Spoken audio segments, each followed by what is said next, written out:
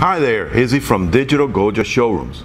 And we're going to take a look at the basic questions that are asked about the Canon PowerShot G7X. If you like this video, remember to click the like button underneath and subscribe to our channel for future sessions and tutorials.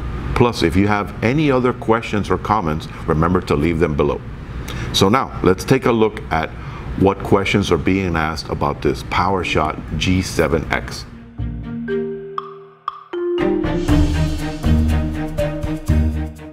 Can I transfer my files through USB on my Canon PowerShot G7X? Well, you could. It does have an input for USB.